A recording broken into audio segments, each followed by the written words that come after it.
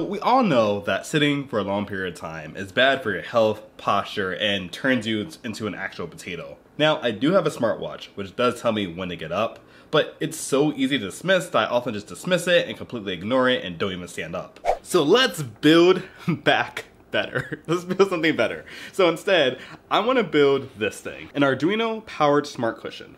What's going to happen is when I've been sitting for too long, let's say 30 minutes, it's going to ring an alarm and then it's going to keep ringing until I actually stand up. Then there's going to be a one minute grace period where if I sit back down within that one minute, it's going to continue ringing. So I have to actually stand up and not sit back down for one whole minute. Pretty simple, easy to do, so let's get to it. So how will we know if somebody is sitting?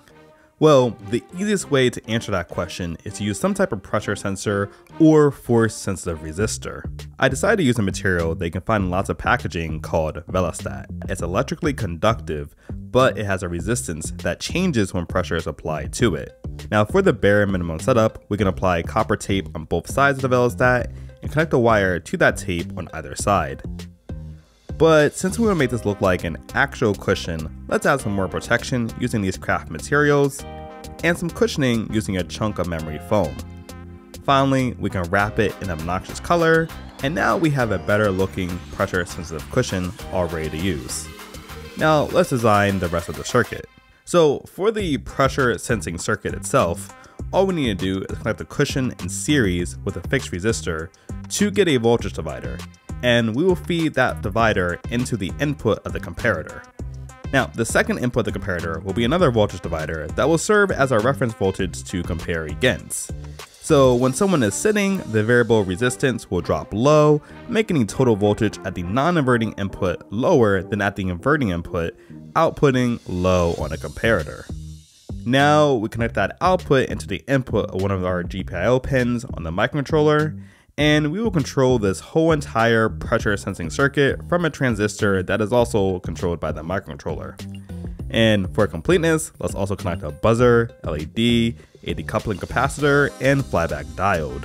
Alright, let's write some code. So pretty much what we're going to do is we're going to sleep for 8 seconds, then wake up and sample the pressure sensing circuit. Now, when we sample it, we want to see if the person is sitting. If they are sitting, we're going to mark it as a hit. After 225 hits in a row, which is going to be roughly 30 minutes, we take 225 times 8 seconds apart, we're going to trigger an alarm, and that alarm is going to keep ringing until the person stands up. Now, if we sample the sit detection circuit and they're not sitting, we're going to mark that as a miss. After 7 misses in a row, what we're going to do is clear all the counters and start back from 0. Okay, so after some really crappy soldering, here's what the board looks like. Now unfortunately, I didn't have a nice 3D printed box I could put this in, so instead I did the upcycling method, which pretty much taken an old headphone box, spray painted it, and attached it to the back of my chair, and placed the perf board within that box. So now for the moment of truth. Does this work? Does this make me stand up?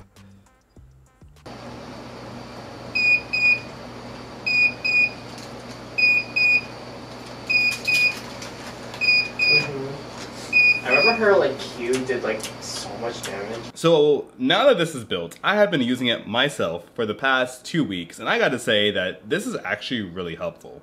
And I think the funniest thing about this actually was one time I was in a work meeting with my manager, um, then suddenly I'm like talking and then this alarm starts ringing and I'm like, oh wait, can we hold the stall? I actually have to stand up for like one minute and walk around before this alarm stops ringing. So it's kind of a little fun thing, but it's really cool to see just how long I'm sitting for because I don't even realize that 30 minutes has passed. It's crazy. So guys, this has been a quick Arduino project to do.